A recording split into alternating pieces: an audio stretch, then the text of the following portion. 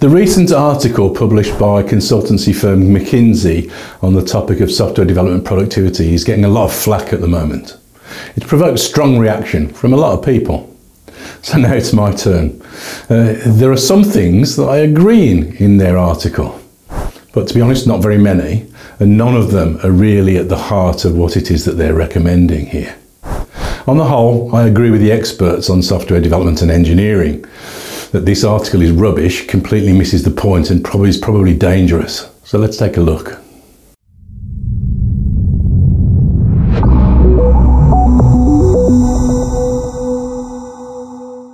Hi, I'm Dave Farley of Continuous Delivery. Welcome to my channel.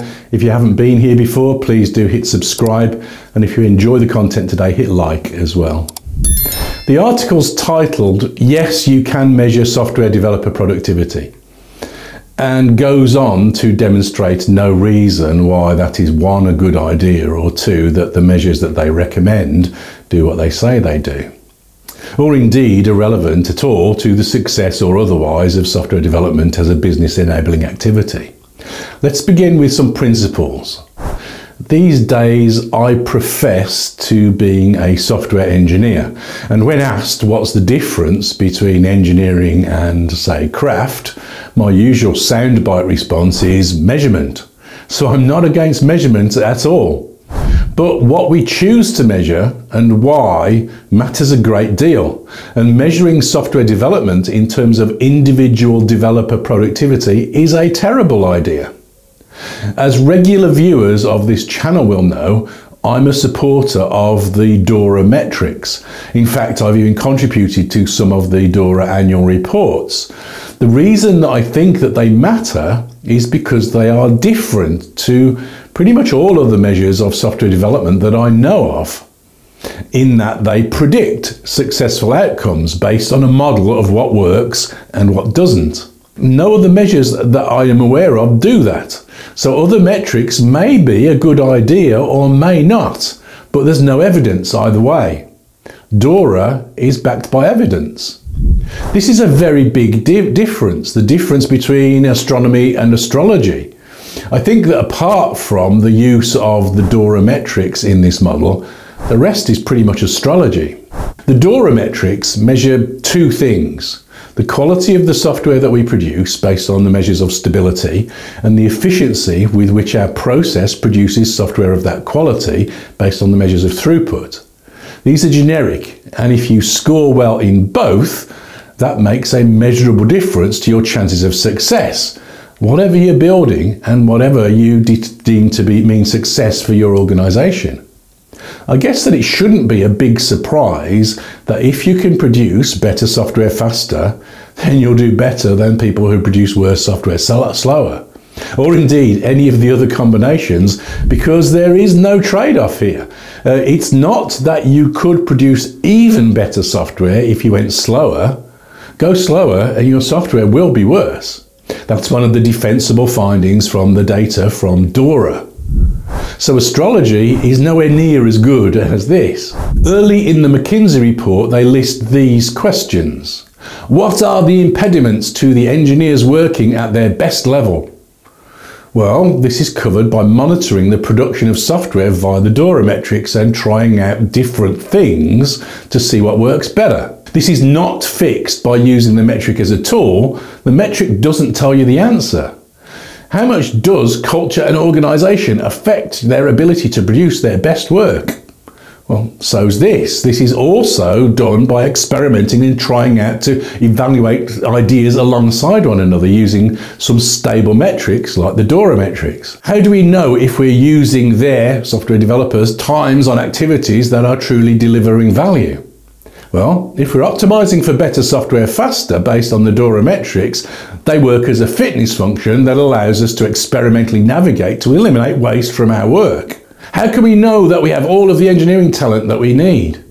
I'd argue that this is the wrong question to ask, and it was mostly refuted in 1970 by Fred Brooks in the Mythical Man Month. Software development doesn't scale well by adding people, and the evidence that we do have also says that success isn't based on having the right engineering talent, but rather is predicted by how the team organise their work and how much they trust each other. And you improve all of that, those things by experimenting and using the Dora metrics once again. But all this is only one way in which the, the article makes a big mistake in which questions to ask.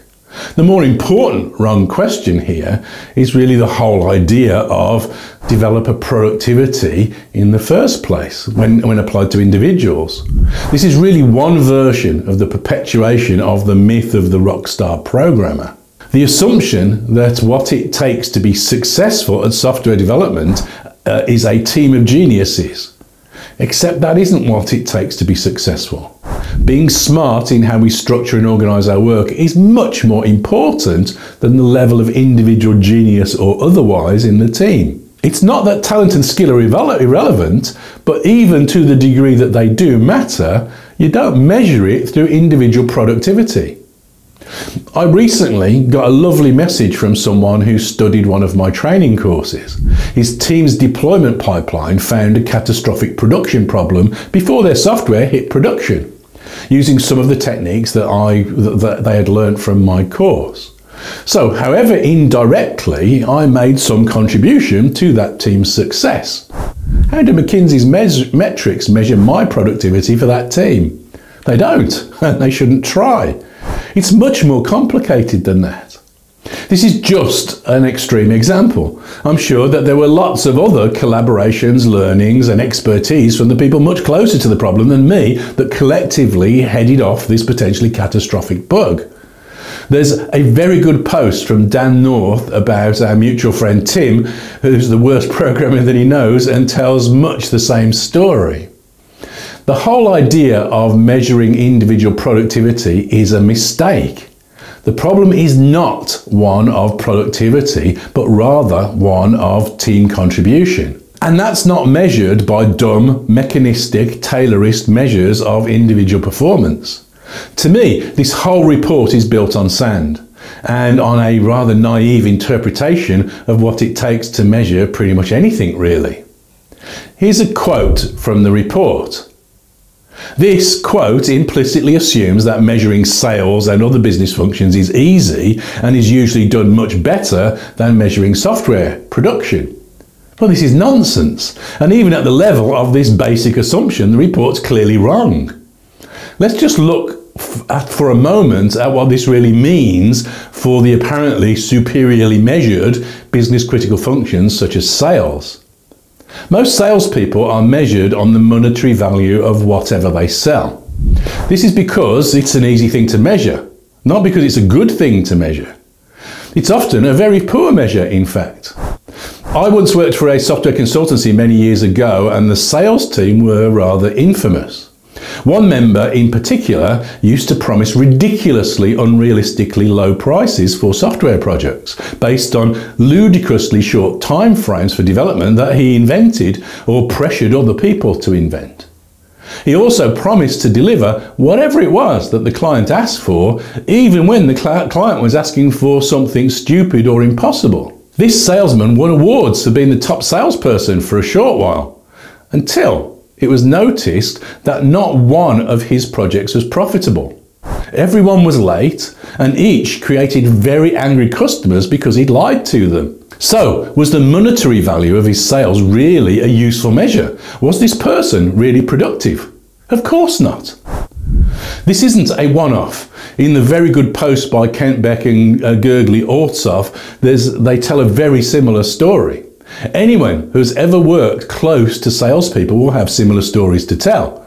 That doesn't mean that all salespeople are bad, but rather that measuring them only on money is a stupid metric and is far too simple for the bad ones to cheat rather like measuring developers on lines of code or test coverage, I suppose. So the idea that we can easily measure productivity in sales is as naive and dumb as the idea that we can easily measure productivity in development.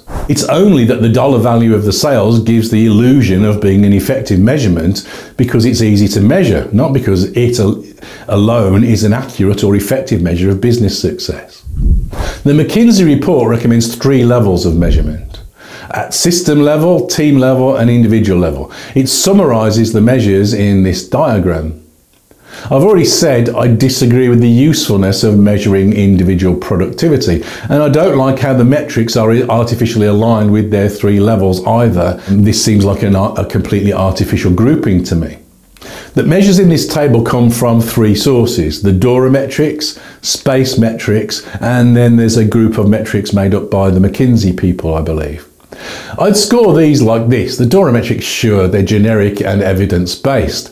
Customer satisfaction, yes, but this isn't a measurement, this is at best a category of measurement. Whether or not I enjoyed my cake shopping experience is rather different to did my flight control system respond in a small enough number of milliseconds to allow the passengers on the plane to survive. In both cases, the customer may be, may be happy or maybe their relatives sad, but there isn't one measurement that tells us the answer to both of these things. Reliability is sometimes vital, but not always. And once again, how do you measure it? It's contextual. Code review velocity doesn't matter. What is much more important is the DORA lead time, which code review velocity may or may not be a part of. It is if the review is done post-commit, for example, and is rather irrelevant if it's done through pairing and mob programming pre-commit. Developer satisfaction is an interesting though subjective measure of software quality but has nothing to do with developer productivity. And neither does retention, through though both are interesting for other reasons. This article describes how dumb it is to measure things like lines of code and then goes on to recommend measuring velocity, story points completed and interruptions. This seems to me a serious misreading of the space metrics. I'm not sure yet what I make of the space metrics. I need to think a little bit more deeply about that. But one thing seems clear to me they seem to be intended to be measuring team productivity, not individual productivity. McKinsey have added a few of their own measures to this list, suggesting that time spent on inner versus outer loop activities is a useful measure. So if I spend my time optimizing my deployment pipeline, I'm doing less productive work, so I'm not a productive member of the team. What a nonsense.